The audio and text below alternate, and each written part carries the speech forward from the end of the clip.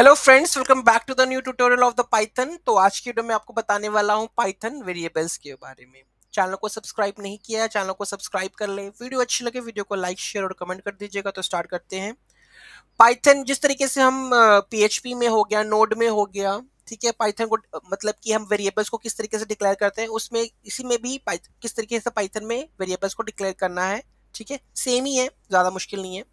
Variables वैसे होते क्या हैं? Variables are use to store the data values obviously बात है, जब भी हमें किसी डेटा किसी भी वैल्यू को स्टोर करना है डेटा को स्टोर करना है तो हम क्या यूज़ करते हैं?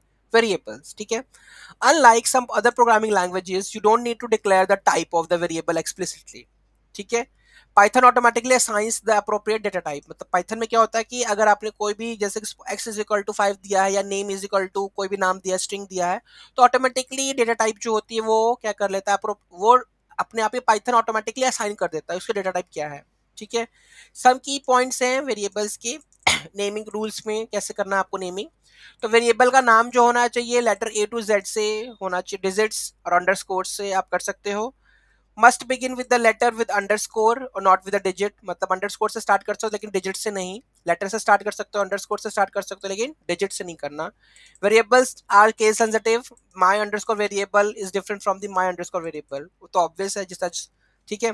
तो ये केस सेंसिटिव है आपके वेरिएबल्स भी, ठीक है? अब करते हैं क्रिएटिंग अ वेरिएबल ठीक है? सबसे पहले assignment you can create a variable by signing a value to using the assigning assignment operator ठीक है? तो आप किस तरीके से वेरिएबल क्रिएट करोगे? With the help of assignment तो मैंने x is equal to five लिखा है। ठीक है?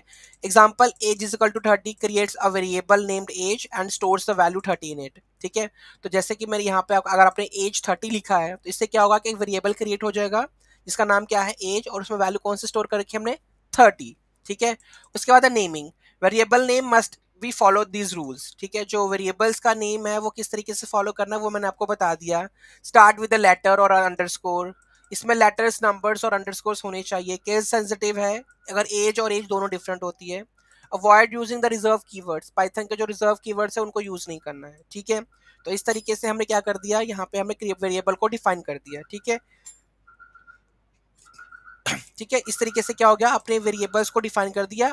अब नेक्स्ट वीडियो में मैं आपको बताने वाला हूँ पाइथन के डेटा टाइप्स के बारे में। ये था किस तरीके से आपने वेरिएबल्स को डिक्लेयर करना है असाइन करना है और वेरिएबल्स होते क्या है और वेरिएबल को नेमिंग कन्वेंशन क्या है वेरिएबल्स की, ठीक है? वो हमने सीख लिया इस वीडियो में। नेक्स्ट वीडियो में डेटा टाइप्स बताऊँगा पाइथन के बारे में।